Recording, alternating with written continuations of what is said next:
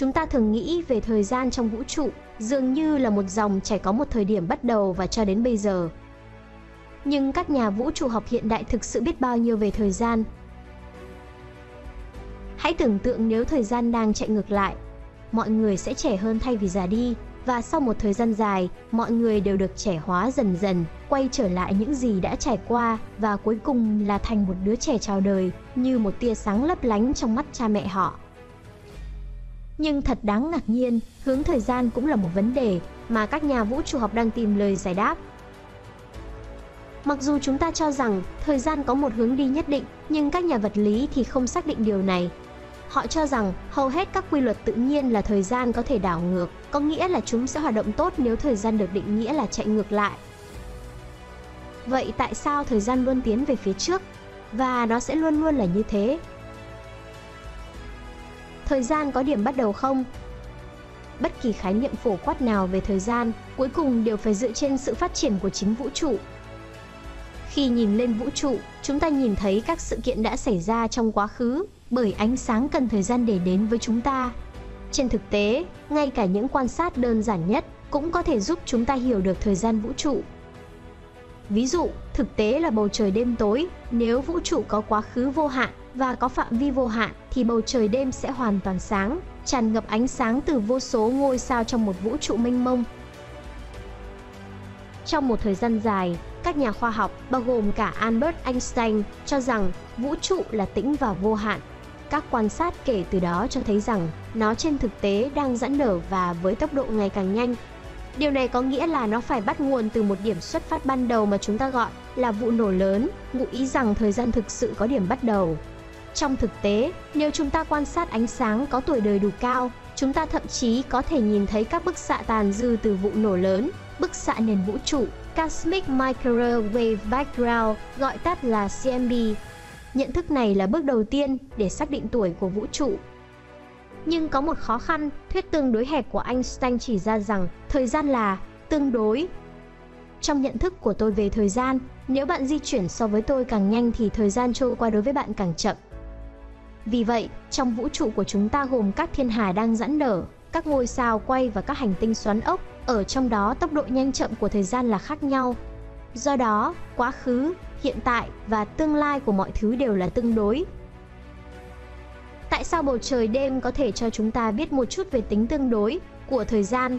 Hóa ra là vì vũ trụ ở góc độ này mà nhìn thì cơ bản là đều giống nhau ở mọi nơi và nhìn trung bình giống nhau ở mọi hướng nên có tồn tại thời gian vũ trụ. Để đo lường nó, tất cả những gì chúng ta phải làm là đo các đặc tính của bức xạ vi sóng vũ trụ là bức xạ điện từ được sinh ra từ thời kỳ sơ khai của vũ trụ. Các nhà vũ trụ học đã sử dụng điều này để xác định tuổi của vũ trụ. Họ đã dựa trên bức xạ vi sóng này để đo lường tuổi của vũ trụ là 13,7 tỷ năm. Vì vậy, chúng ta biết thời gian rất có thể bắt đầu trong vụ nổ Big Bang nhưng vẫn còn một câu hỏi dai rằng vẫn tồn tại. Là thời gian chính xác là gì? Để giải đáp câu hỏi này, chúng ta phải xem xét các thuộc tính cơ bản của không gian và thời gian. Trong chiều không gian, chúng ta có thể di chuyển tới và lui, tất cả mọi người đều trải nghiệm điều này hàng ngày. Nhưng thời gian thì khác, nó chỉ đi theo một hướng mà thôi, chúng ta cảm thấy luôn tiến về phía trước, không bao giờ quay ngược lại.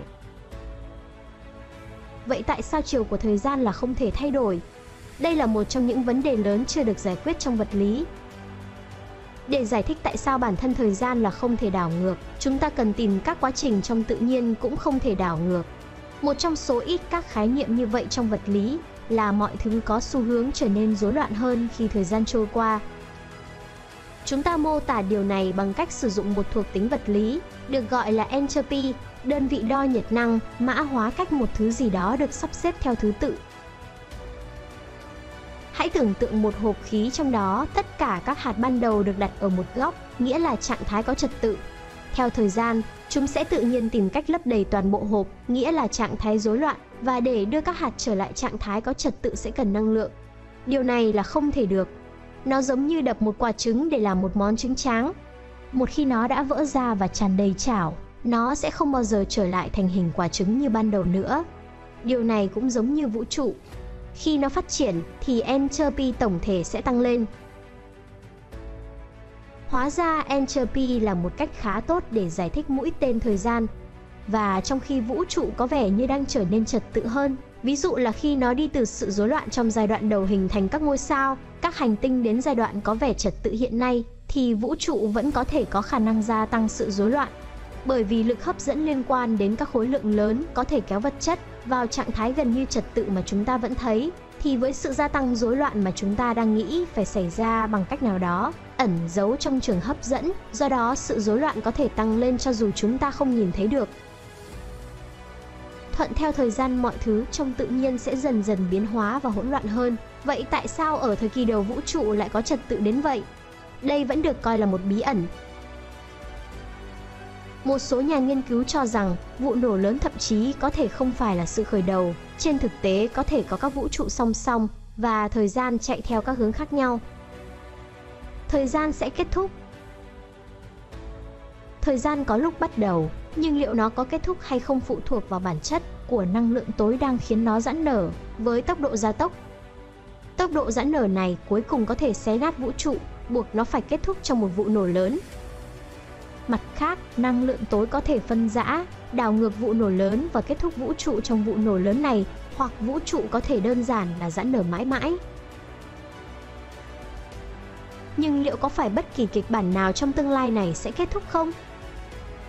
Theo các quy tắc kỳ lạ của cơ học lượng tử, các hạt ngẫu nhiên nhỏ bé có thể bật ra khỏi chân không trong giây lát, một thứ được nhìn thấy liên tục trong các thí nghiệm về vật lý hạt. Một số người đã lập luận rằng năng lượng tối có thể gây ra những dao động lượng tử, dẫn đến một vụ nổ Big Bang mới, kết thúc dòng thời gian của chúng ta và bắt đầu một dòng thời gian mới. Mặc dù điều này là cực kỳ suy đoán và rất khó xảy ra, nhưng những gì chúng ta biết là chỉ khi chúng ta hiểu về năng lượng tối, chúng ta mới biết được số phận của vũ trụ. Vậy kết quả có thể xảy ra nhất là gì? Chỉ có thời gian mới trả lời được.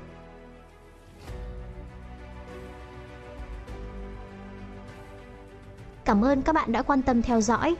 Nếu thấy video này hay, đừng quên để lại một like và đăng ký để đón xem những video mới nhất từ khoa học và khám phá nhé. Xin chào và hẹn gặp lại.